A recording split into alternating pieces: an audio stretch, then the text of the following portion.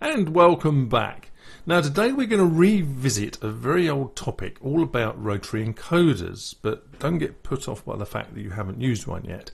Um, my first video on rotary encoders, that's the one there on screen now, explains exactly how they work. So if you don't know how they work, you really should watch that one first because I'm assuming you have some kind of base knowledge. Now the question you might be asking is, hang on Ralph, if you've already done one on rotary encoders, why are you doing it again? And the fact of the matter is, we had a couple of comments under that video that made me think. I'm thinking, hmm, good points. Let's see what we can do. Right, first of all, then, let's have a look at those comments to see what we're talking about. Now, this one here, which is by Killer Extreme, um, after thousands of people have seen the video, he posted this again, and he's obviously annoyed. So, Killer Extreme, whoever you are, don't worry, we all get frustrated at times. This code is buggy and it doesn't work, basically. Now, the reason it didn't work is because Killer Extreme was actually using a different type of rotary encoder. And in fact, if we scroll down, we might be able to see where he's talking about it. Here we are. So he's using a rotary encoder without detents, 96 pulses per rotation. Now, without detents, you say, hmm, okay, well, let's have a look at the um, the original one then that uh, I was using. So this is the original one from video, I think it was video 19, wasn't it? And as you can see, when I turn this, there are very definite steps, right? As you can see, right? Now you could, of course, hold it and just squeeze it around so it doesn't quite click in, but it will always click into one of those little stops, right? So you get little feedback. I mean, it's pretty typical of a rotary encoder. However, Killer Extreme was using one of these. Um, now this one, uh, basically mechanically very similar to this, but you can move this any amount you want and it doesn't sort of click into one of those stops. It's just free rotation. Now this isn't like the one he's got because he's got 96 steps per revolution. This one's 24. That's the best I could find actually for a stepless rotary encoder. Um, which I could source from uh, it's Bourns actually who make this one. I'll show you the spec sheet or at least include it in the video if you're interested in a stepless one. And he was saying basically he wanted to capture each of the change states on each of the pins. What does that mean? Well, as I say, if you understand how rotary encoders work, we can have a look at this sheet here. This is a rotary encoder um, pin A and pin B signal. Now, just to recap quickly, pin A goes high, stays high for a bit, and then goes low, as we turn the rotary encoder. Let's use the step one as an example. So as I turn that from one detent to another, that little step there, what's happening inside is that the pin goes up, cross, back down. In fact, this dotted line here is normally where the detent starts from and finishes at. So in fact, we're starting from this point here and we go to the same place in the next pulse to here so basically pin O's gone low, it stayed low for a while, come back up and then come to rest here at the next detent or step. In the meantime, of course, pin B has done a very similar thing, but 90 degrees out of phase, which is how we know which direction we're turning it in. That's the whole point of the two signals on a rotary encoder, directional uh, identification. So whereas a, a, standard rotary encoder, like this one here that was used in the previous video, would leap all the way from here to here, and we'd only really want to detect when one of these pulses goes low. You could detect a rising pulse, um, but I've not found the Arduino to be particularly reliable on that. I mean, rising, what does rising mean? You know, at what point on here does it detect it? Whereas a low means it has to be, well, pretty much zero. Anyway, that's an aside I've just found for reliability. It's easier on the Arduino to detect a low. So having detected the low, it then says, what's B doing at this time? Oh, it's high. Then we've got a 0 and a 1. That means we must be going in a clockwise direction. So having leapt from here to here, the Arduino kicks in at this point, runs its little bit of code, and by the time that step has come to rest here again, so by the time you've actually turned this from one place there to the next one along there, the code's run and it's incremented a counter or whatever. But what Killer Extreme is saying was, well, I've got this stepless one. A, there is no detent or no notion of this detent, so basically you could be anywhere along this line, and I want to detect this, I want to detect this, and this, and this, and this, and this, because then you get a greater resolution. Well, greater resolution you do get, but um, what I have found, in fact, is that, uh, I mean, this one's only 24 pulses a second. Now, pulse, what do we mean by pulse? Uh, if we go back to this, a pulse is one complete cycle. So in a detent situation, it'd be from here to here. That's one pulse. But we're actually getting four pulses for the price of one on this one, aren't we? But to go through all those, you're going to have four pulses. So why didn't it work for Killer Extreme? He put this rotary encoder onto this sketch. That's the original sketch, pretty much. Why didn't it work? He says um, it just kept running. Um, there was a little bit of confusion about what an interrupt routine did, but we've cleared that up now. Well, the reason, first main reason why it didn't work is because unlike this one, there is no built-in pull-up resistors on this. It's just got the three pins, which is ground, which is that black one, plus A and B effectively. Right, so there's no plus on here. There's nothing to bring these pins high really. So they'd go low or floating, so maybe high, maybe not. So that's no good at all. So the obvious thing to do there is either to have a little bit of circuitry, as I in fact have done here, just to prove things that it's all going to work the same, or even simpler.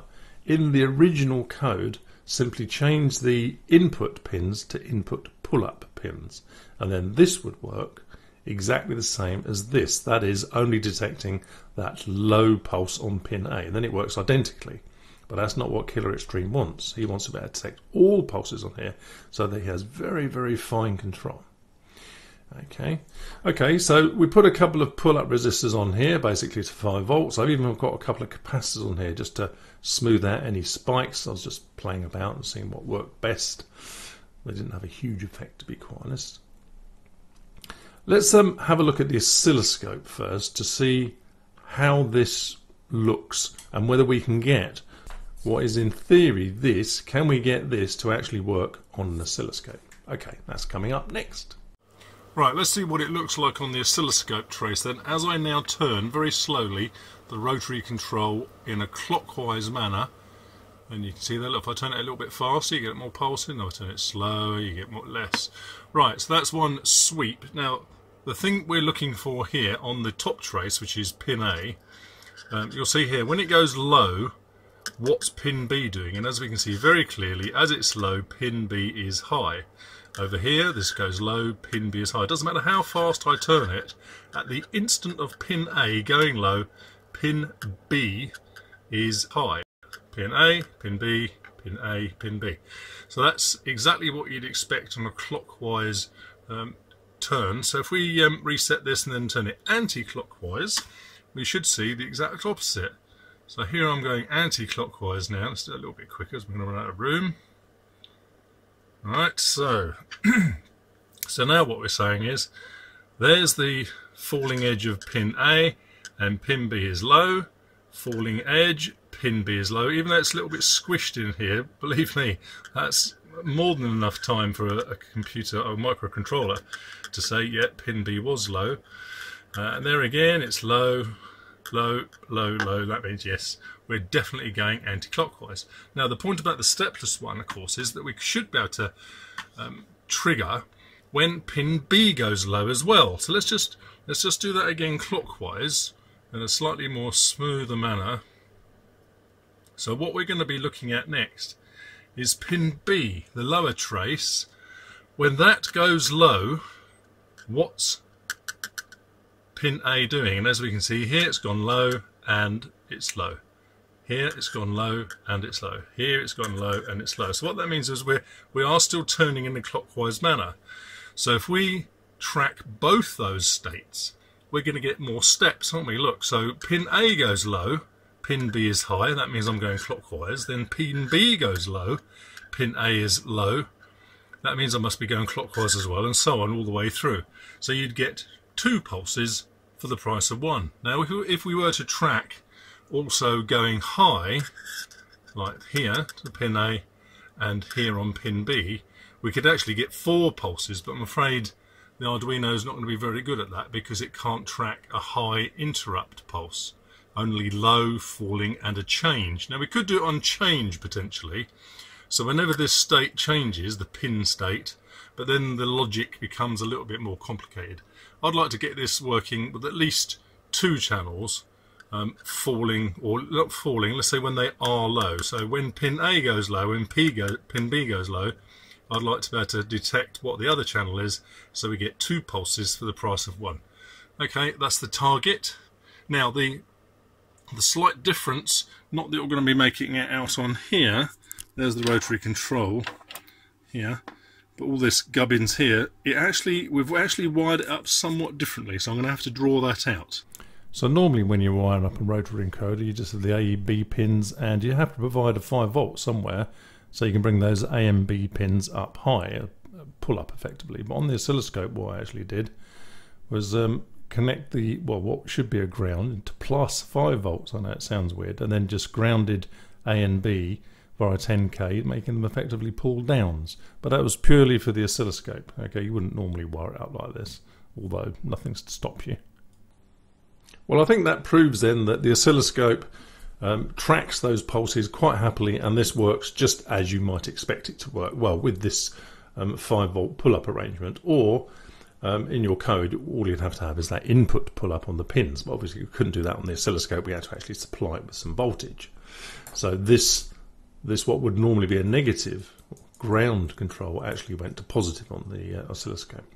Okay, that's fine. My next concern was well, can we actually track that many pulses on an Arduino? Is it capable of tracking that many?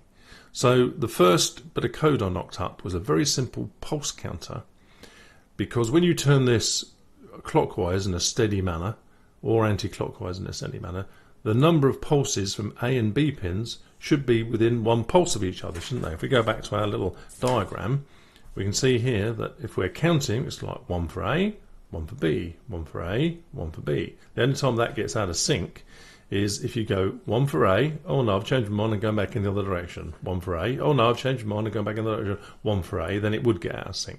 But just moving it steadily in one direction, they should always be within one pulse count of each other.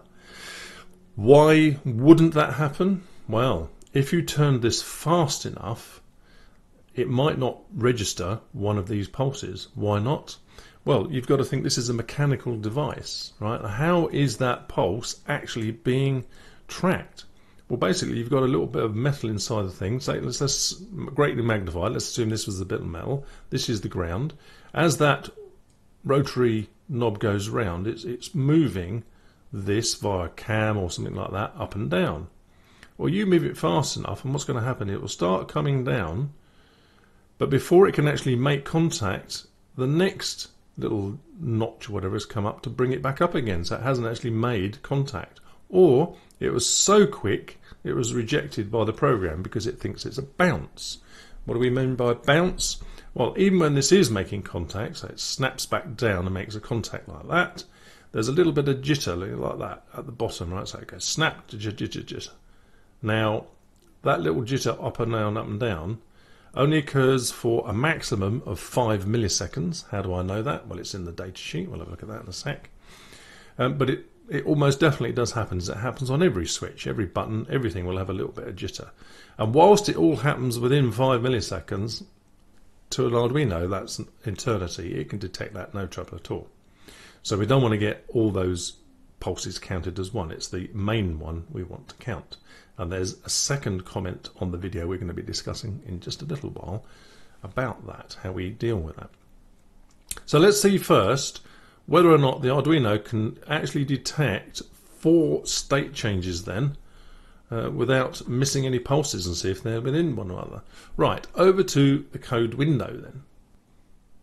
Right, here's a very simple circuit. Right, now if you don't understand any of this, please look at the previous video, number 19 I think it is, um, and just work out what this is doing. I'll describe it in some detail.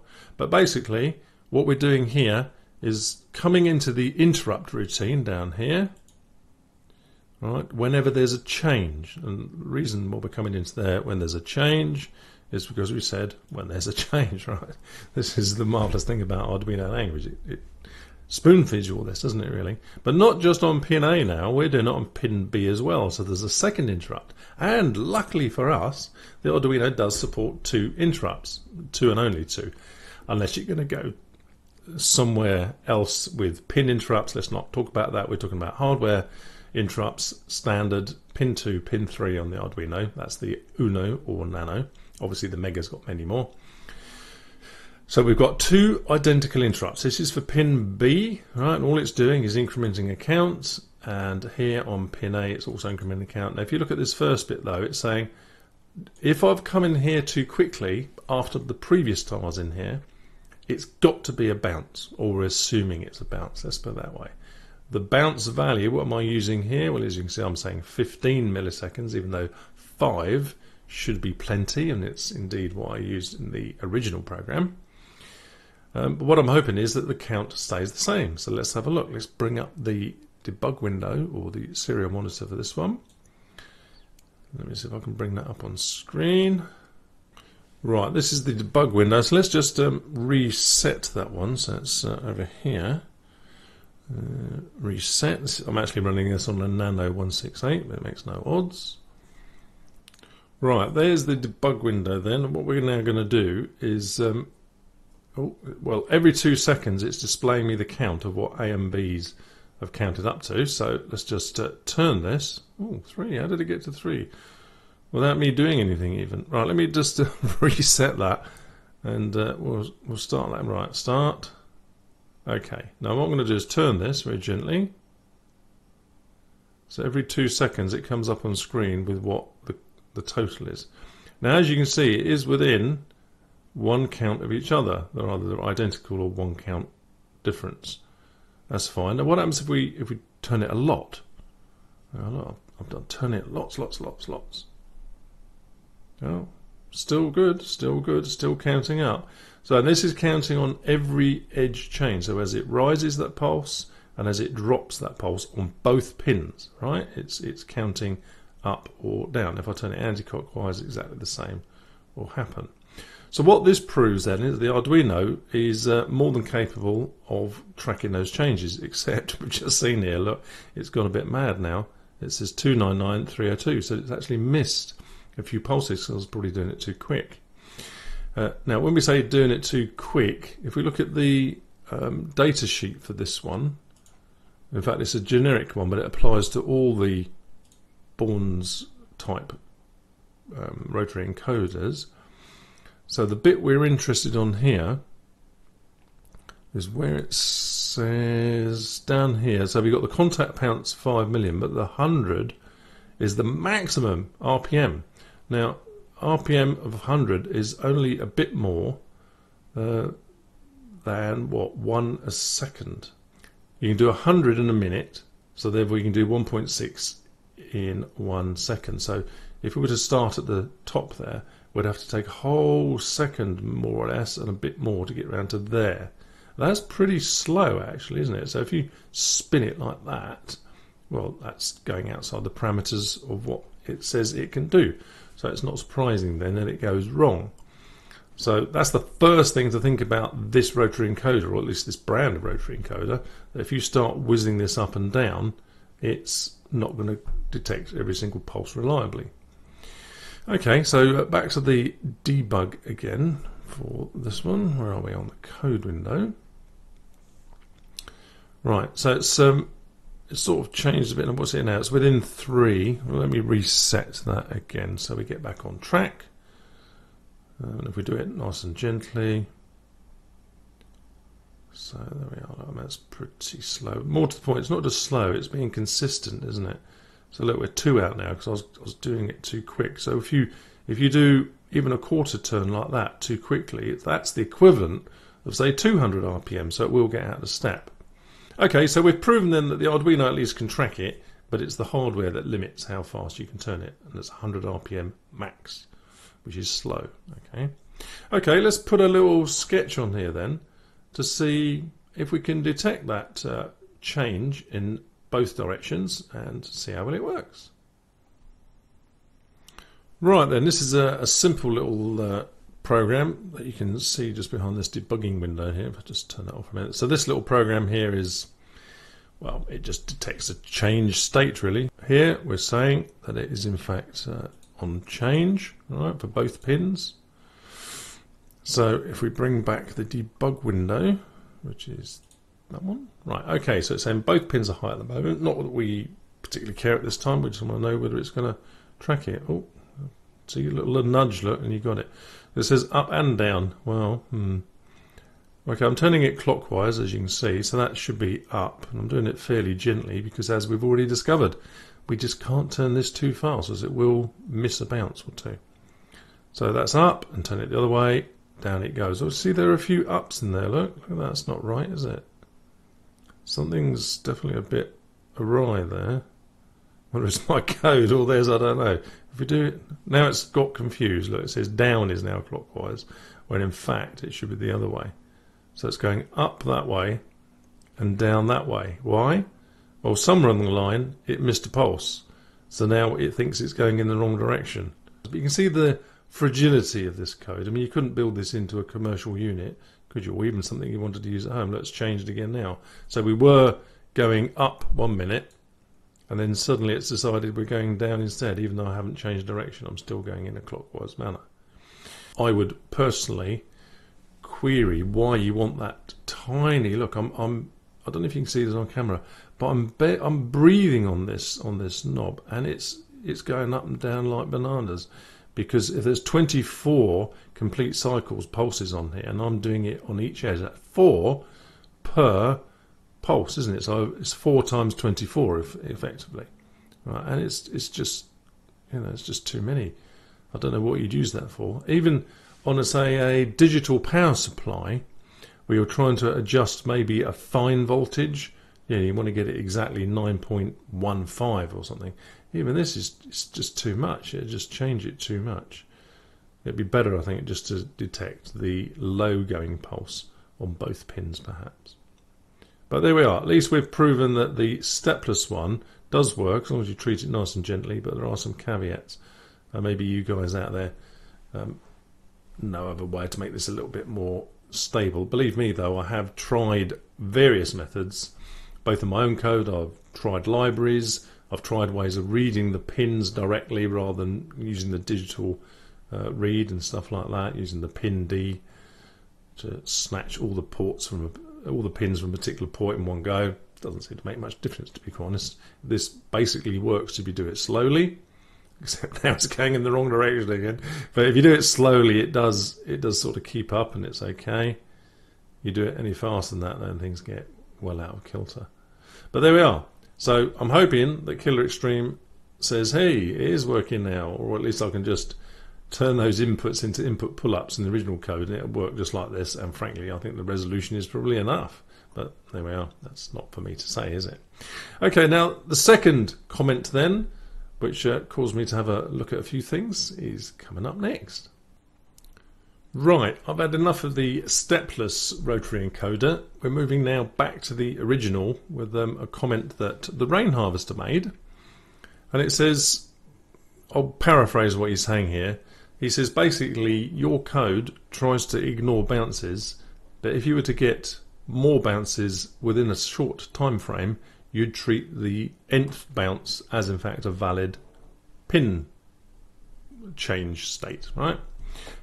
Um, yeah, I can see what he was saying.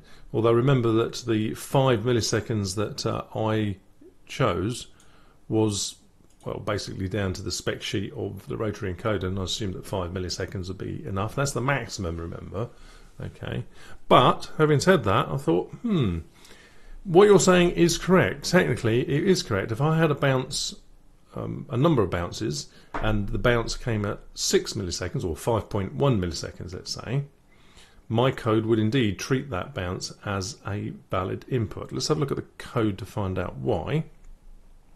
So this is now going back to the original code, way back from well over a year ago when we are doing that original uh, library, uh, not library, sketch.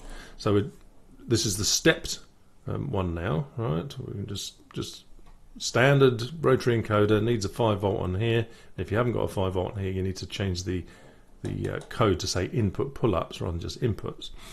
So, okay, let's have a look at this then. So, uh, scroll down a bit to see where the interrupt. So this is the interrupt, the single interrupt that we're using, right? Because we're only tracking the low pulse now on pin A.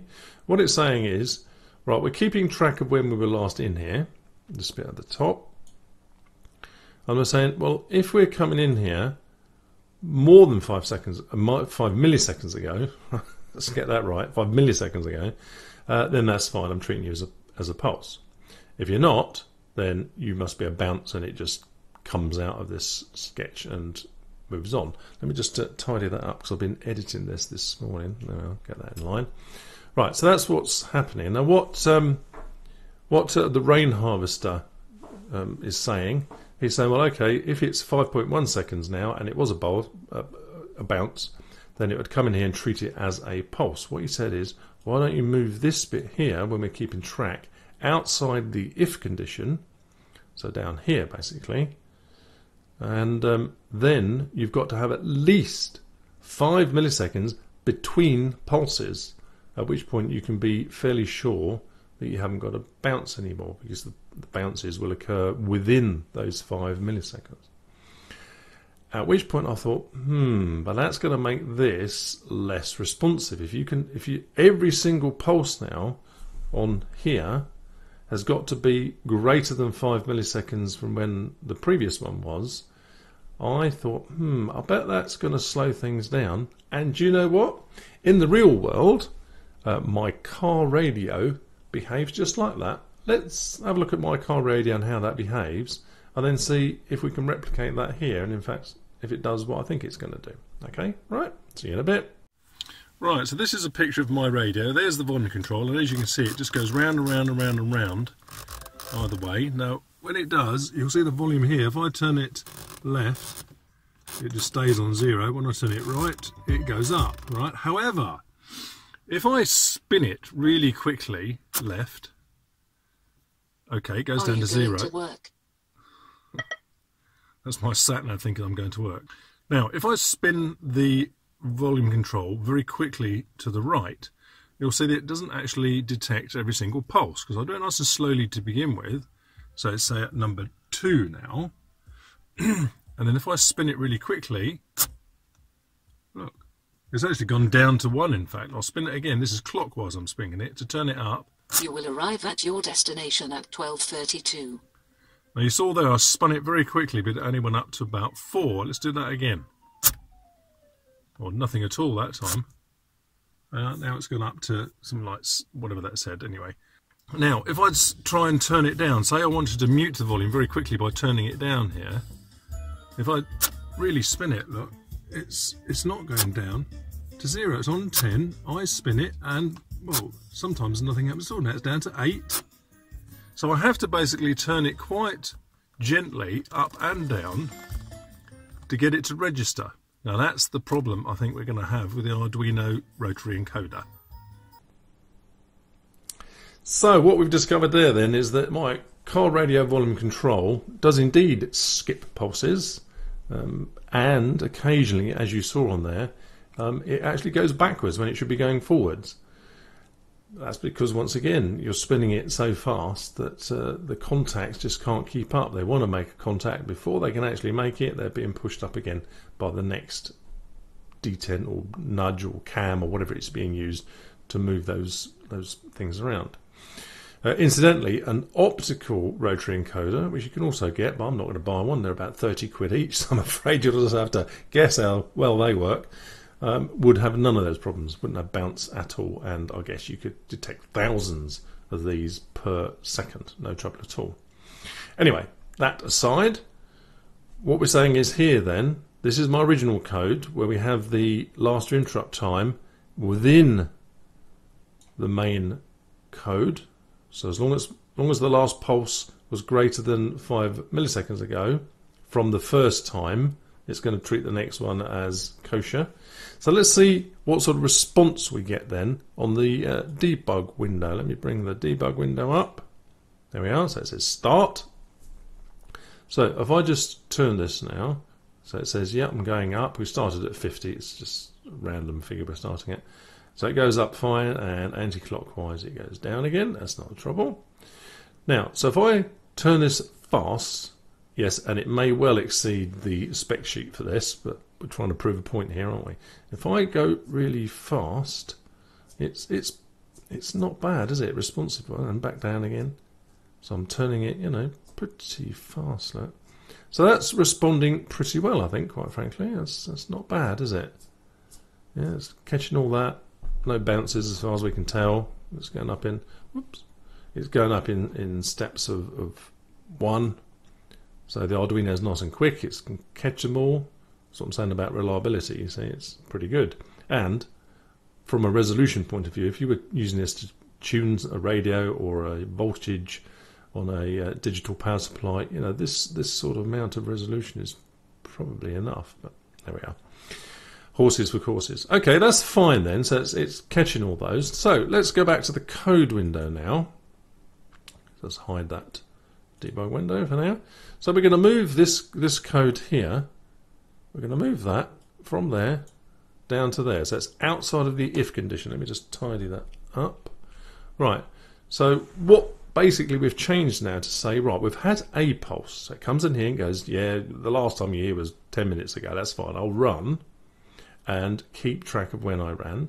Another pulse comes in. It goes, oh no, I've you've been here within the last five milliseconds. I'm not I'm not doing anything. Comes back out, keeps track of the time, comes back in. It goes, well, no, you're only in here tenth of a millisecond ago. I'm still not doing anything right? Because this is now being updated every time we come in here, whether or not we process that that signal, it says you've got to have a minimum now of five milliseconds between pulses. What difference is that going to make in the real world? Well, let's find out. Let me um, upload this first. So off it goes. Right. As soon as it comes up, I'll put the debug window back on. Right. I'm hoping that let me just double check, make sure that really did upload. Yeah, it did. Okay, it's uploaded. Right, so start. So if we if we turn this um, clockwise now. Oh, well, it would help if I used the right rotary encoder. That was the other one. Right, so we're going to turn this clockwise. Up, up, up, up. Yeah, so it's going up and down. Fine. So it's acting pretty much as it did last time. What happens then if we turn it nice and fast? Oh. Ah. Look at that, look. So 60, 60 is now, I spin it, it's probably 10, 20 pulses in that, and it goes up to 69, right? 72. Not a lot, is it? And that's because that's now acting like my car radio is. It's basically has the same logic as what the code has here that we've changed it to now as a result of Rain Harvester's suggestion and says, no, we're only going to treat a pulse that's longer between pulses five milliseconds before it does anything. So it's interesting. Now, does it actually make it more reliable? Well, if the spec sheet says the bounces are all going to disappear within five milliseconds anyway, which is the milliseconds that I've used in the code. Uh, let me just. Oh, I want to move this out of the way a little bit so we can see both them at the same time. So, there we are. You don't need to see me, do you? So there's there's the five hard coded. Just I know it's wrong. I shouldn't be using hard coded values, but there we are. Uh, so that's the five milliseconds.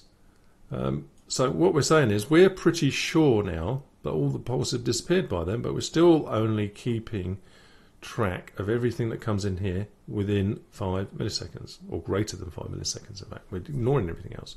So does it actually make it more reliable? Well, I'm not sure. My radio irritates a little bit. In fact, this morning I dropped my wife off into town so she goes shopping, and as I came out, I spun the volume control up because there was a song and I wanted to get it loud, so I spun it, and the volume basically hardly moved. It went up by one or two, um, and it has to go up, you know, from say 10 to 25 to make it appreciably louder. So I had to then turn it up a little bit slower, like that, in a more controlled manner.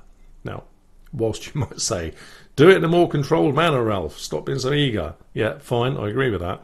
But I don't know if this makes it any more reliable by ignoring those pulses. Look, I'm now spilling in there like mad, or whether I'd like this this back where it was, so we get a more responsive rotary control. I guess it all depends on your project, doesn't it? Really, if I was redesigning my car radio, I would not have it like this because it's irritating. I'd have it back in this loop so that I can turn my car radio up and down from basically off, you know, muted to really loud just with a quick spin. Because I think you'd learn pretty quick not to spin it too much. But if you knew it was going to be responsive, you'd just go whack and be it. You'd be up. Whereas this way, using the, the tracking of the time afterwards, means you have to do it in a much more controlled manner. Well, that's all very well and interesting. I don't know whether Rain Harvester is ever going to watch this and uh, learn something about it or why I've done it and what the effect is of doing it his way compared to my way. I'm easy with it and I can see there are benefits both ways. I think I've highlighted those. Uh, let me think um, what else I can tell you about on this. I think we've covered everything, haven't we? Um, there is one browser site that I think is worth uh, looking at. If we go back to from there to here, now this is Nick Gammon's page all about interrupts, and of course he's got a zillion. He is the guru of all things Arduino, without a shadow of a doubt. He knows more about Arduino than I think Atmel know themselves, frankly. In fact, the Arduino um, people, Arduino.cc, often refer to Nick Gammon's site because he just knows everything there is to know about it. Um, but on here, he talks about interrupts in the nth degree, right? So if you're really interested in interrupts and how the Arduino can service them, you really need to read this. But as I say, it gets more and more involved as you go on. We're using things like this here, look, these these names. It's um, it's very interesting, and if you need to know about it, um, have a read. And in fact, even if you don't need to know about it, it's a bit like window shopping, isn't it? One day you might. So it's definitely worth a read. And I'm going to put a link to Nick's page on the bottom of this video because it's uh, very interesting. Didn't help me particularly using rotary encoders or the other rotary encoder, this one over here, the stepless one, but it was still a, a good read. I think we've covered everything we need to cover now on rotary encoders and stepless ones and the four bits and everything else that come out of them. Great. Hope you enjoyed it, learned something. Thanks for watching. See you in the next video. I hope you're finding these videos useful and interesting. There are plenty more videos to choose and a couple are shown below. And if you'd like to subscribe to this channel, just click on my picture below and enjoy the rest of the videos. Thanks for watching.